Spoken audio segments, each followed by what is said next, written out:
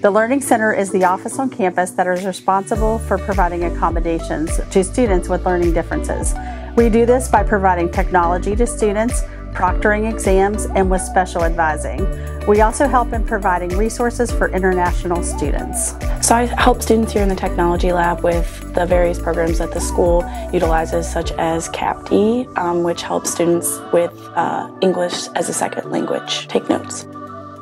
I'm enrolled in the foundational program here at the Learning Center and that program lets me work with an advisor who helps me pick out courses, tells me what I'll excel in versus what I'll struggle in, and she overall is one of the key acceptances and accomplishments that helps me through my courses.